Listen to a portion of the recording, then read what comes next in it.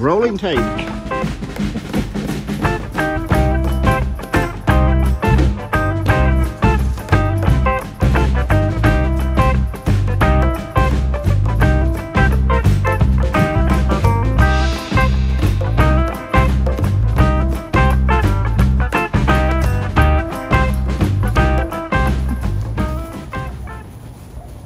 what I gotta do is figure out how to get one going that way.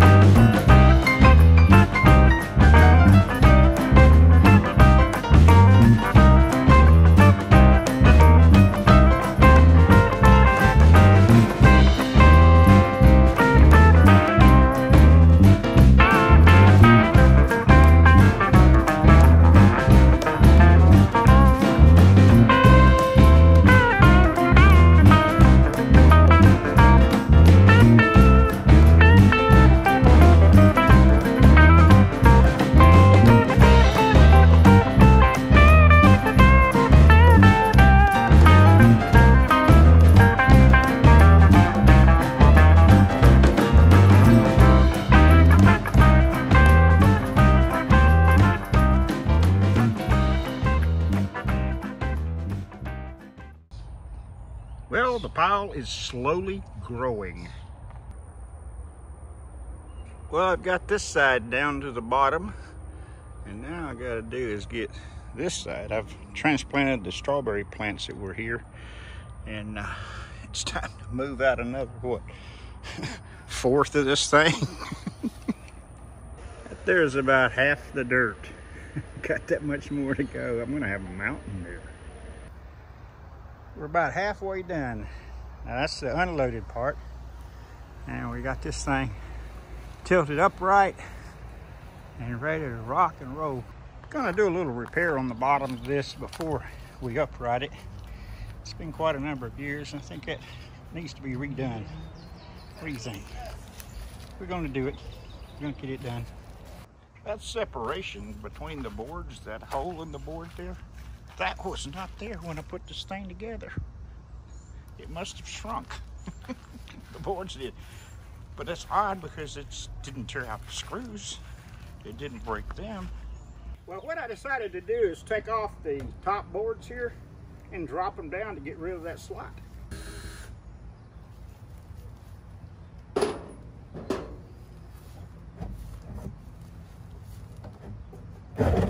It's tight fit. That's it. Well, that's the beginning. Just for the record, so I remember what goes where. we got it four boards. That should be relatively simple. Let's see, I'm gonna mark that one one, two, three, and four. In progress here. Three of the four boards is off. Let's go for that number four. Just letting the stain dry now before reassembly. No, that's not blood, that's just stain. I managed to get some on the wood and managed to get some on me too. Paint hardening up in the hot sunlight. It's gonna be over 100 today. When you pick out a eight foot board at the home improvement place and you ask them cut it in half, you think an eight foot board would give you two four foot pieces, but that's not so. they may do a great job of cutting it in half, but the board that come from the factory is 8, 8.1, 8.2. And so if you want them all the same or you need them all the same, you have to do a little trimming. Not a professional setup here, but it gets the job done. A little bit more. It's gonna get noisy. Okay, spot on the money.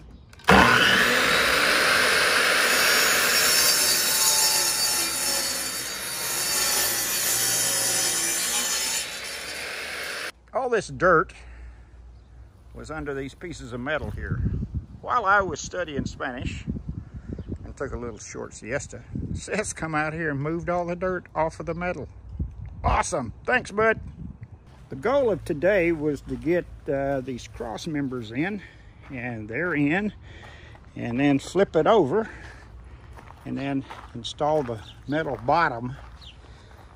Okay, so far, got the cross members in, but oh, wouldn't you know it, I was 13 screws short and had to make a trip to Home Depot, and they didn't have it. Then I had to go to Lowe's and get it, but I got her done. So we got these in. So we're about halfway done with today's project. It's 100 degrees outside. Got this metal in, but it's not fixed. Just needs to have some cogitation going on to figure out what I'm gonna do next. What we've done here is put a string up to align it exactly north-south. I don't know why I want to do that. I just want to do that. So when I put the garden in place, I'll measure from the line over and we'll have it exactly lined up north and south for whatever good that's gonna do or not. I don't know, but it's just the thing I wanna do. Okay, got it moved and it's lined up north-south. Now I just gotta level this baby. I'm leveling and doing all that before I put the rest of that 200 pounds of wood and four tons of dirt in there. Well, it's all downhill now, or all uphill now. Sucker's ready for dirt. Just move that into there, uh-huh. You're right. Thursday at about 8.50 p.m. The sun set about 30 minutes ago.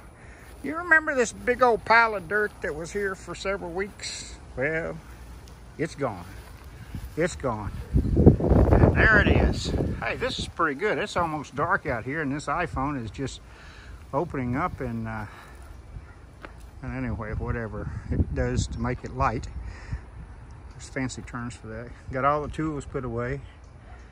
Got the wheelbarrows ready for rain.